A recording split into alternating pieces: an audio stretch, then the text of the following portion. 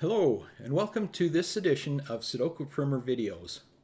Today we're going to find quintuplets. That's five numbers in a group. Twins and triplets, they're pretty common, pretty easy to find. Quadruplets are less common, but quintuplets are quite rare. We'll find some in this puzzle. I'm also going to talk about finding twins to nonuplets, that's two numbers all the way to nine numbers, and pointers on how to locate them. This is puzzle number 81 from volume 132 of Sudoku to Go by Soap, Soap Opera Digest. Now I'm going to start um, filling in numbers here. If you have any questions about any numbers that I fill in uh, or anything about the puzzle, please leave a comment and I'll answer your questions. A 5 here and a 5 here and a 5 there. So that's a 5. A 5 here and a 5 here, so one of these is a 5. But we also have a 5 here and a 5 here, so one of these is a 5. And a 5 and a 5 there, so one of these is a 5. Using double row elimination, that eliminates this 5 right there. And uh, put it right there. And all these techniques I'm talking about you can find on sudokuprimer.com if you uh, want to read up on them and learn more about them.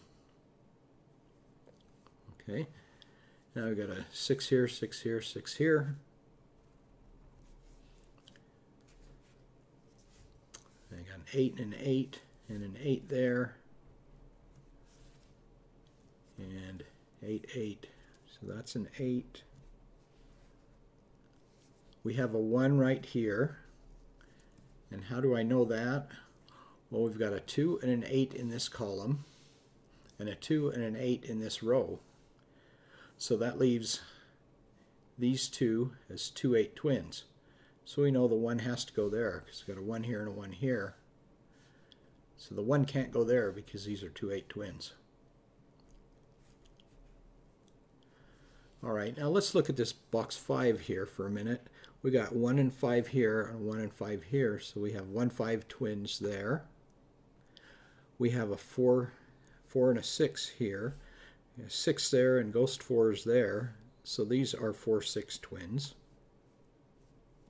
So we have 1, 2, 3, 4, 5, 6, 7, 8, 9. 7, 8, and 9 go in the middle column. There's a 7 and 8 there, so that's a 9. We've got a let's see, we've got an 8 here and an 8 here, so we have ghost 8s there, so 8, ghost 8s. So one of those is an 8. So that's an 8, and that leaves us 7 for the middle middle cell. All right. And now a 9 here, 9 here, 9 there, so that's a 9. And 7 and 7 there, so that's a 7.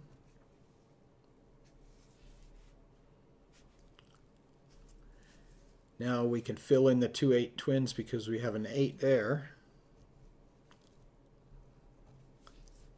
The two 8 twins we found earlier.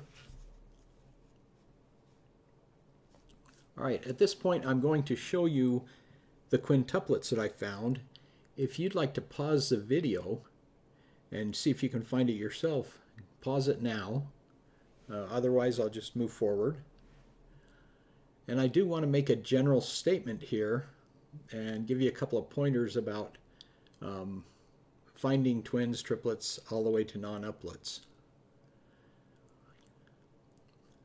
uh, twins, triplets, all the way up to non-uplets can be found if X numbers fit in the same number of cells.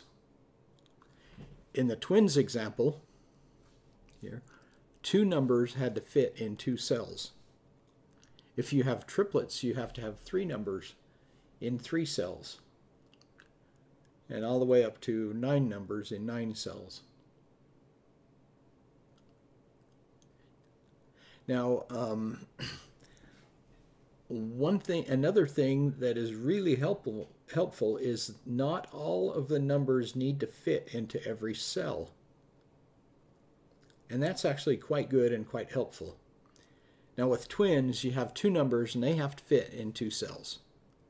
But with triplets, you could have triplets and um, all three of the numbers could could only only have to go in two of the cells in order for the triplets to be triplets. I'll, I'll give you an example after we um, find the quintuplets here. Okay, let's look at box 4.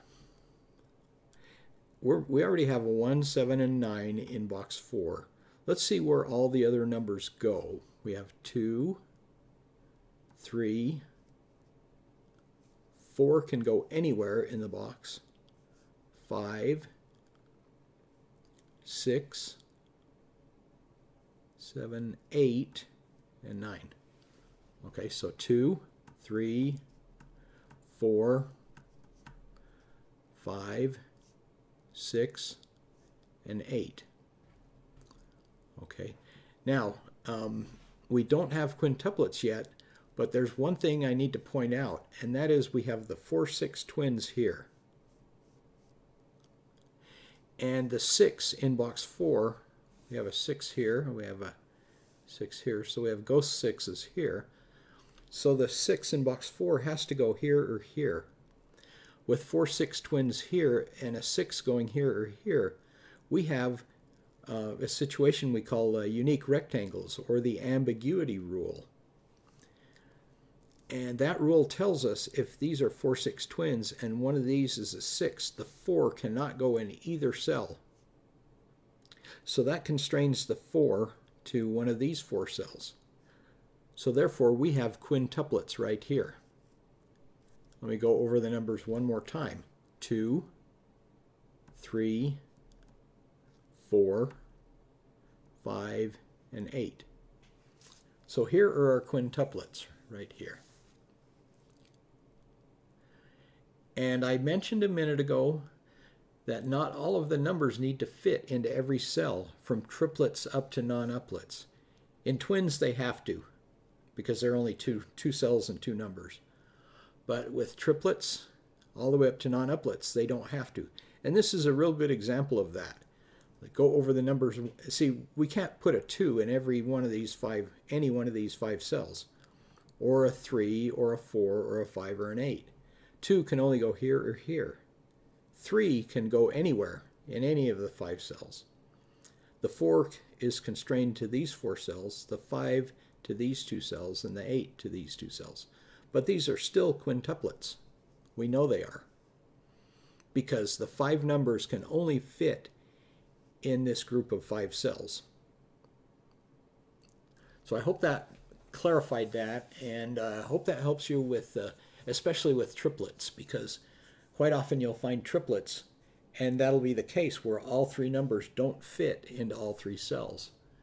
And you may not notice that they're triplets if you didn't know that, uh, that all numbers, not all numbers need to fit into every cell.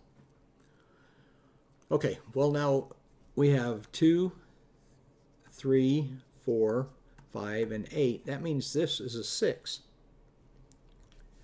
And that leaves a 4 here and a 6 there. There's our 4, 6 twins that we had.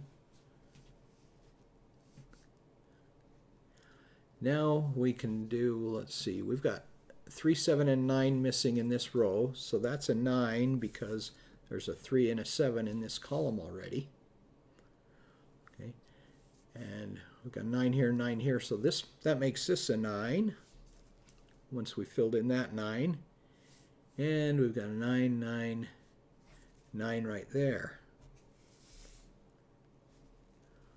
All right, now the 8, we got an 8 here, 8 here, 8 here, so that's an 8. We couldn't put that, fill in that 8 before the, we put the 9 there, because before that, the 8 could have been in either of these two cells. But that puts that an 8 here also. All right. And remember the twos could only fit, the two could only fit here or here, so that two goes there now. All right. Now we're only missing two numbers in column 3 here. 3 and 4. There's a 3 there, so 4 and 3.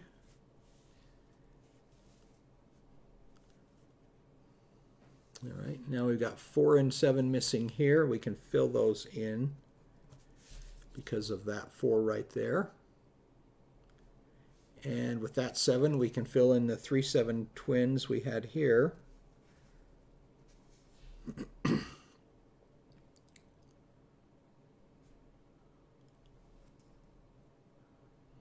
All right, now what are we missing in this row? We're missing 2, 3, and 7. We got the 3 and 7 there, so that's a 2. Now we're only missing 2, 3, and 4 in this column. There's a 3 and a 4 in the row 9, so that makes that a 2, and this a 3 because of that 4. And that's a 4. Right. This 2 here makes that a 2 because of these two 2's.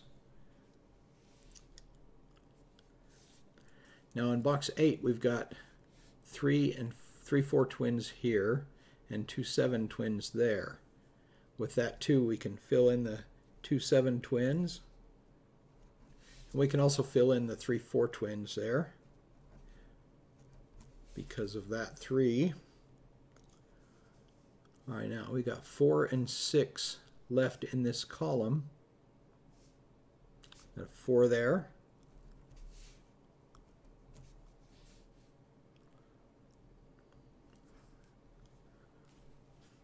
All right, now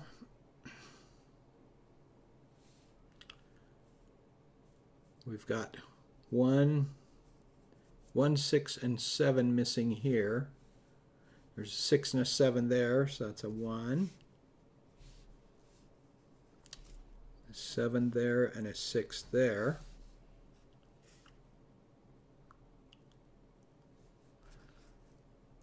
All right, now we've got a uh, four, four.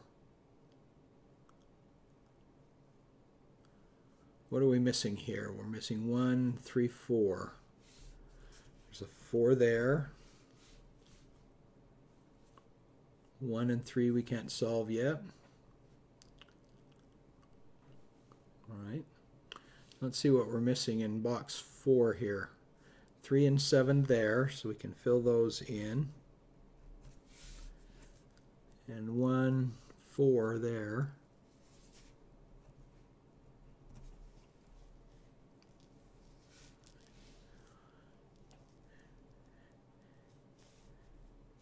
Now we can fill in the 1 and 3 missing in box 6. We've got a uh, 1 and 7 here. A 3 and a 5 here and a 1 and a 5 there.